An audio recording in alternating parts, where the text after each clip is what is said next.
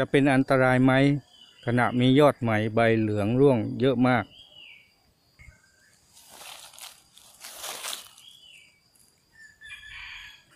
ครับสวัสดีครับพบกันอีกเช่นเคยครับกับผมตุ๊กภูริพัฒน์ครับสำหรับวันนี้ก็จะมาตอบปัญหาสมาชิกถามมานะครับว่าอ่า ตอนนี้มียอดใหม่ แต่ยอดไม่ได้เป็นไม้กวาดเนาะแต่ทำไมใบมันเหลืองหล่นร่วงใต้โคนเยอะมาก ๆนะครับ ก็อยากจะบอกว่า ช่วงนี้หลายพื้นที่ก็คงจะมีฝนมาบ้างแล้วนะครับ แล้วก็ปลายรุ่งปลายรากก็ได้รับน้ำฝนทำให้ดินมันชุ่มแล้วก็นุ่มตัวขึ้นรากก็จะฉอนชัยได้ดีขึ้นเนาะแล้วก็เมื่อรากฉอนชัยทำงานได้ดี แล้วก็เราก็จะมียอดใหม่อย่างที่เห็นเนาะครับ แล้วก็ ช่วงนี้เป็นช่วงที่อ ต้นไม้จะใช้พลังงานเยอะมากๆนะครับ ในการมาสร้างตัวฟื้นฟูตัวเองนะครับ แล้วก็สิ่งแรกที่ต้นไม้จะสร้างแล้วก็เอาพลังงานไปใช้ก็คือ ไปสร้างหมวกรากใหม่นะครับ เพราะว่าเมื่อธรรมชาติเอื้อมีน้ำฝนน้ำฝน แล้วก็ปลายรากได้มีโอกาสได้ชอนชัยเนาะได้แทงหมวกรากใหม่ งอกหมวกรากใหม่มาแล้วก็ชอนชัยเนี่ยเพราะว่าโดย ความชุ่มความชื้นอะไรก็แล้วแต่มันมันเข้าจังหวะไปหมดเลยเนาะก็เลยสิ่งแรกที่ต้องสร้างก็คือหมวกราก หมวกรากใหม่ พอได้หมวกรากใหม่แล้วก็ชอนชัยทีนี้ก็มียอด พอมียอดเสร็จก็ต้องมาเลี้ยงยอดอีกเนาะก็ส่งพลังงานมาเลี้ยงยอดอีก แล้วการที่ต้นไม้สสลัดใบก็คืออใบเหลืองร่วงอย่างเงี้ยจะเป็นอันตรายไหมสำหรับผมถือว่าไม่เป็นอันตรายนะเป็นเรื่องปกตินะครับอ่า จะเป็นอันตรายต่อเมื่อออย่างเช่นหน้าแรงหรือว่าไม่ใช่ฤดูมันเนาะไม่ใช่ฤดูมันเราให้น้ำเยอะเกินไปเนี่ยมันเป็นทงเป็นท็อไอ้นั่นอ่าขณะที่มันเป็นลูกหรือขณะที่มันใช้พลังงานเยอะๆแล้วก็ไปน้ำท่วมรุ่งท่วมรากไอ้นั่นก็เหลืองเหมือนกันเนาะถ้าเหลืองแล้วมันเหลืองแล้วร่วงอย่างนี้ แสดงว่ามันจะประหยัดพลังงานนะถ้าในฤดูเนาะมันจะประหยัดพลังงานของตัวเอง ต้นไม้ต้นทุเรียนมันเป็นนักประเมินสถานการณ์ เป็นนักคำนวณเป็นนักประหยัดพลังงานอย่างสุดยอดมากๆนะเพื่อที่จะเลี้ยงดูตัวมันเอง แล้วก็เพื่อที่จะให้ผ่านแต่ละฤดูของอดินฟ้าอากาศแต่ละพื้นที่ แล้วก็แต่ละเดือนแต่ละวันแต่ละปีแต่ละฤดูเนาะก็ให้ผ่านไปให้ได้ เพราะมันเป็นต้นไม้ที่อยู่กับที่มันไม่สามารถเลื่อนอเคลื่อนย้ายตัวเองเพื่อหลบหนีแสงแดดเพื่อจะหลบหนีมรสุมอะไรต่างๆ ได้เนาะมันก็ต้องอยู่อ่เพื่อที่จะปรับตัวให้ได้กับสภาวะการ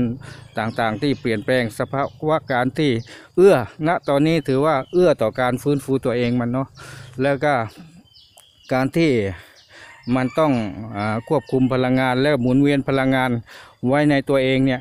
ก่อนอที่เพื่อนๆสงสัยว่าทำไมมันถึงร่วงนะครับ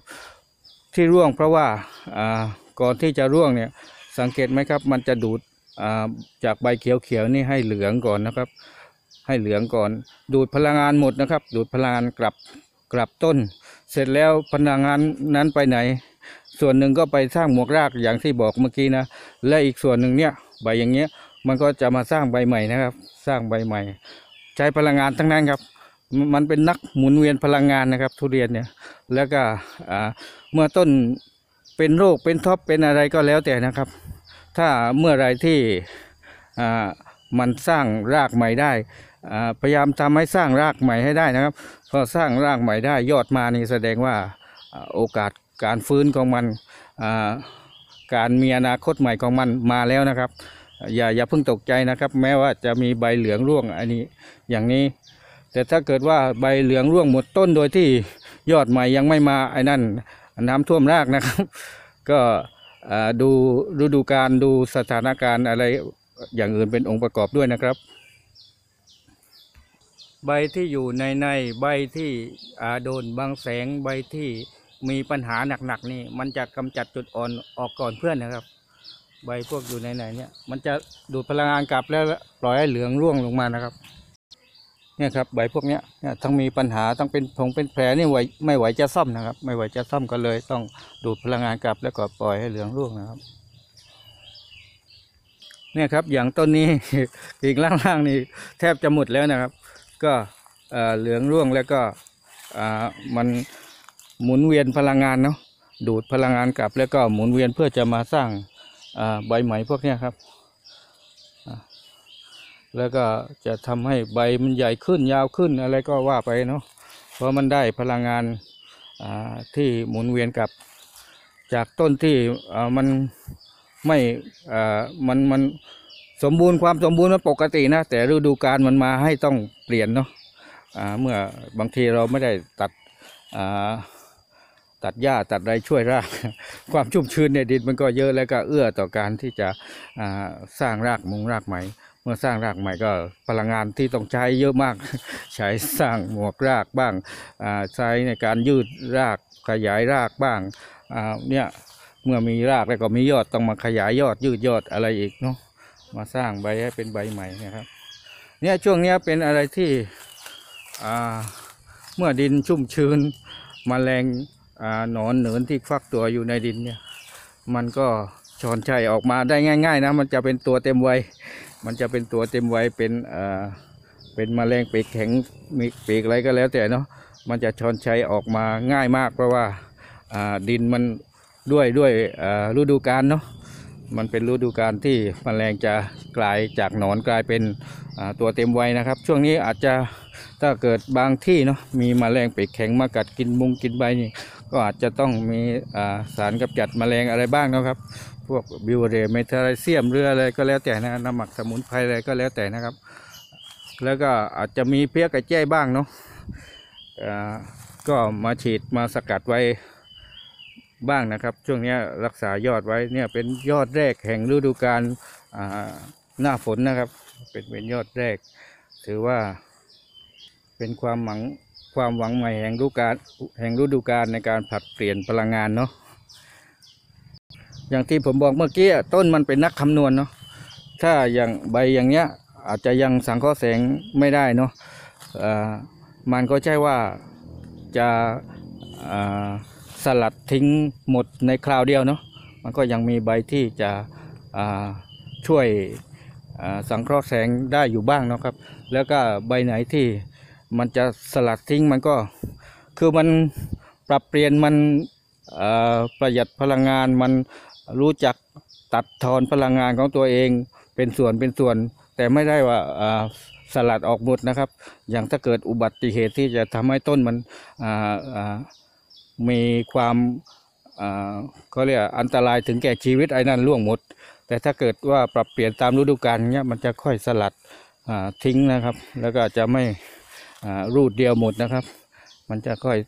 อค่อยๆเหลืองและร่วง แล้วก็ยังมีใบที่นั่น พอเมื่อใบพวกเนี้ยถ้าเกิดว่าใบพวกเนี้ยมันสังเคราะห์แสงได้นะ มันกางแขนได้ มันคลอโรฟิลล์เต็มที่ มันจะมีการ สังเคราะห์แสงปรุงอาหารได้เต็มที่ เสร็จแล้วมันก็จะไอ้พวกเนี้ยก็ค่อยๆร่วงไปนะครับ ค่อยๆร่วงไป สังเกตว่ากิ่งล่างๆกิ่งในๆกิ่งที่โดนบางร่มบางอะไรเนี่ยมันจะอ่ากำจัดจุดอ่อนก่อนเพื่อนนะครับไม่ใบที่เป็นผู้ใช้มากกว่าผู้ผลิตเนี่ยมันจะกำจัดจุดอ่อนปล่อยให้เหลืองร่วงไปก่อนนะครับ ส่วนตัวนี้ดูยอดบนๆนี่ก็ยังมีใบแก่ถือว่าเยอะใช้ได้อยู่นะครับขนาดเดียวกันก็ใบ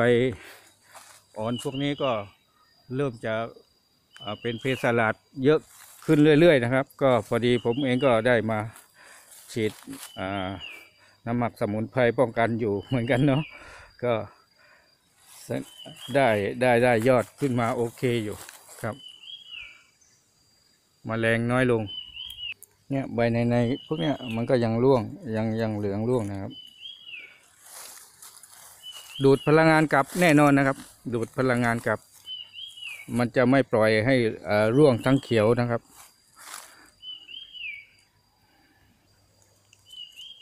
เหลืองร่วงแล้วไปไหนต่อ ครับมันก็หล่นอยู่ใต้โคนเนี่ยครับ สุดท้ายทุกอย่างบนโลกนี้ที่เป็นสิ่งมีชีวิต สุดท้ายมันก็ย่อยสลายกลายเป็นดินนะครับ มันโดนพวกจุลินทรีย์ต่างๆ ย่อยสลาย เดี๋ยวก็กลายเป็นดิน ถามว่าใบเหลืองๆพวกนี้มีจุดดำดงดำๆแล้วราพวกนี้มันจะทำอันตรายอะไรแก่รากทุเรียนมันจะลามต่อในนี้ได้ไหม ก็อย่างราพวกเนี้ยไอเนี้ยมันเป็นพวกราเมลาโนดนะไอราน้ำมงน้ำหมากอะไรที่จุดดำๆโดยมากพวกทำแบบอินทรีย์เนาะ ที่สารบางทีมาจากน้ำมงน้ำหมักอะไรต่าง ๆ เนี่ย เรามาฉีดพ่นมันยังมีเศษอาหารอาหารตกค้างเนาะบางทีพวกน้ำมงน้ำหมักน้ำหมักอะไรนะพวกผลไม้สีเหลืองอะไรมันก็ยังมีสารตกค้างมีอะไรก็มีพวก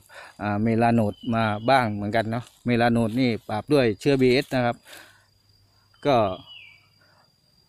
ลองลองไป ปรับใช้ดูนะจริงๆ ไม่ค่อยเป็นอันตรายอะไรกับต้นทุเรียนอะไรมากนะครับถ้าโดนเชื้อ BS เนี่ยมันก็แค่หยุดนะครับ หยุดแต่ไม่ไม่ลามต่อ แต่ว่า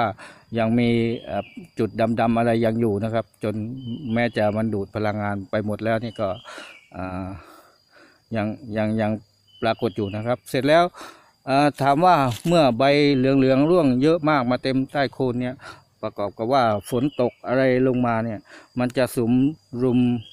เป็นที่หมักหมมของเชื้อราหรือไม่นะครับ ก็จริงๆแล้วไอราพวกนี้ที่มากับใบเหลืองๆเนี่ย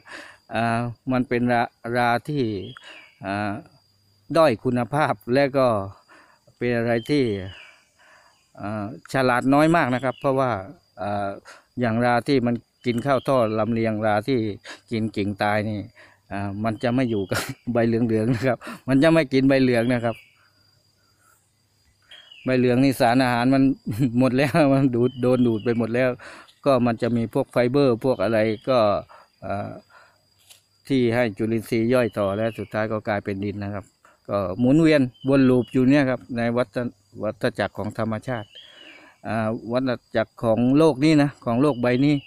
เขาสร้างมาเพื่อการหมุนเวียนสุดท้ายมนุษย์เราก็เหมือนกันเนี่ยเมื่อตายไปสุดท้ายมันก็กลายเป็นขี้เถ้าขี้ทานกลายเป็นอ่า กลายเป็นดินหมดนะครับวนวนลูปกลับมาเป็นดินเป็นดินหมดนะครับ ไม่สามารถ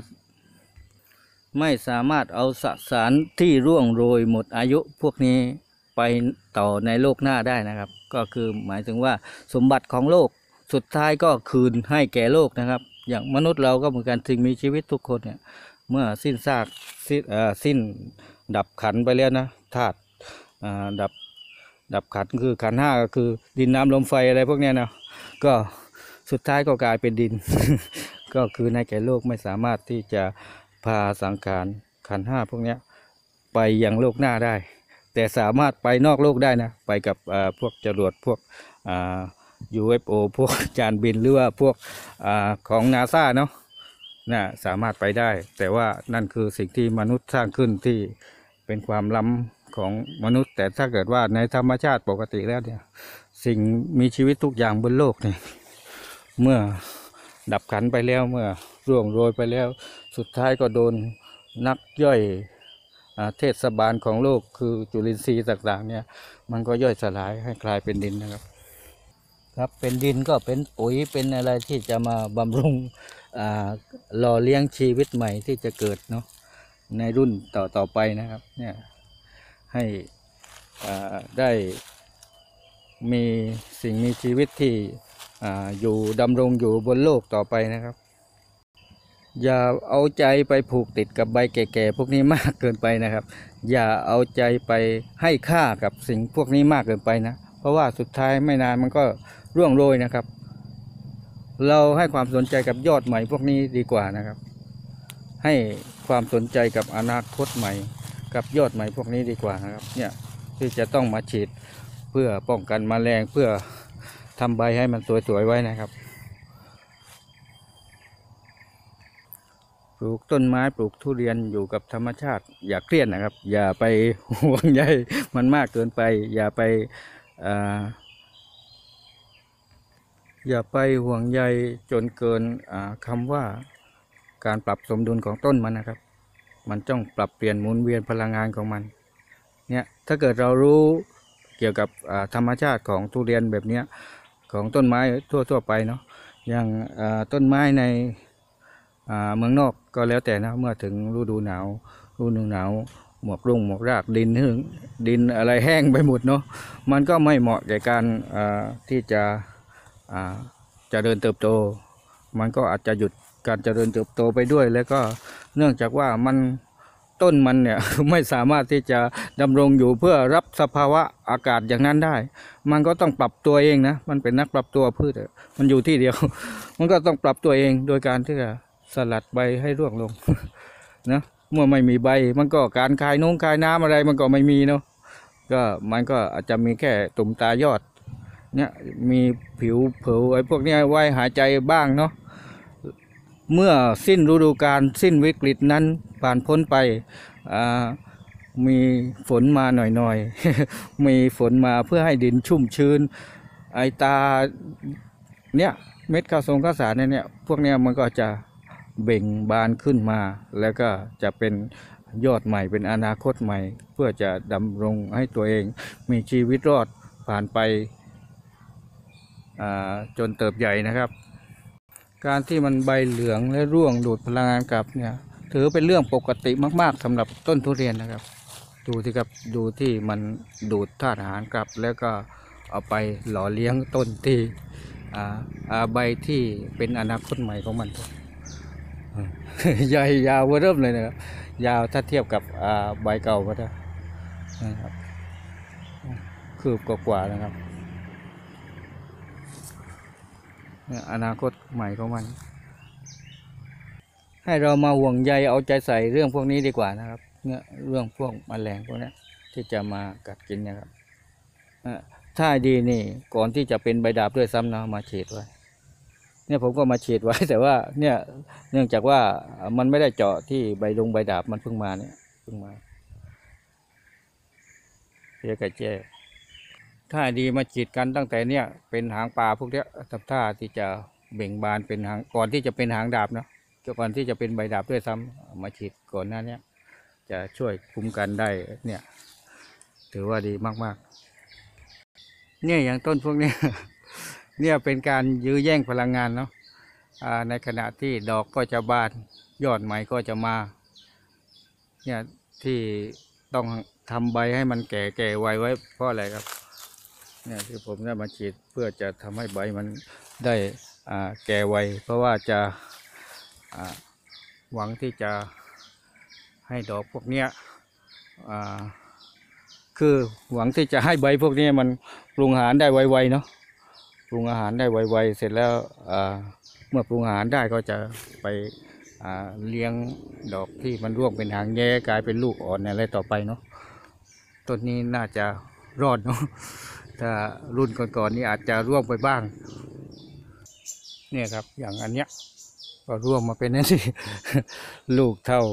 โตกว่ากำปั้นผมแล้วแหละนะก็ยังร่วงนะครับเนี่ยก็ยังร่วงได้นะครับ ถ้าเกิดมียอดอ่อนเนี่ยทำใบให้มันแก่ไว้ไว้นะครับ ถึงจะรอด เนี่ยใบเนี่ยมันเอ่อใบ ใบอ่อนกับรากอ่อนเนี่ยดึงพลังงานเยอะมากๆนะครับ สุดท้ายอันเนี้ยลูกอย่างเงี้ยสวยมากๆก็ยังร่วงนะครับ ทรงถือว่าโอเคอยู่ ก็ยังร่วงได้นะครับ เพื่อจะเนี่ยรักลูกเอ่อรักลูกน้อยกว่ารักใบ รักใบมากกว่ารักลูกนะครับ แต่ถ้าเกิดว่าโตกว่านี้หน่อยอีกสักเดือนเนาะเอ่อมันจะมีเม็ดเม็ดเนี่ยมันก็คือจะสืบทายาทแล้ว เม็ดนี่หมายถึงทายาทนะ มันก็ต้องห่วงทายาทแล้วทีนี้ มันก็จะดึงพลังงานมาที่เม็ดแล้ว เม็ดนี่เป็นตัวดึงพลังงานเลย เนี่ยก็เริ่มมีเม็ดอ่อนๆแล้วล่ะ ถ้าเกิดว่าเม็ดที่มันจะอ่าโตกว่านี้อีกสักหน่อยนี่มันจะเป็นอะไรที่ดึงพลังงานแย่งอาหารแย่งพลังงานจากใบมามาอาจจะชนะใบก็ได้นะครับหวังว่าท่านดูคลิปนี้แล้วคงคงพอจะเข้าใจธรรมชาติของทุเรียนบ้างมากขึ้นนะครับ ก็เนี่ย มันจะดูดพลังงานกลับแล้วก็เพื่อมาเลี้ยงยอดนะครับ เอาเป็นว่าสำหรับคลิปนี้ก็ขอจบไว้เพียงแค่นี้ก่อนไว้พบกันใหม่คลิปหน้าครับ ฝากกดไลค์กดแชร์กด subscribe ด้วยนะครับ ด้วยรักและปรารถนาดีจากผมตุ๊ภูริพัฒน์ครับ สวัสดีครับ สวัสดีครับผม สวัสดีครับ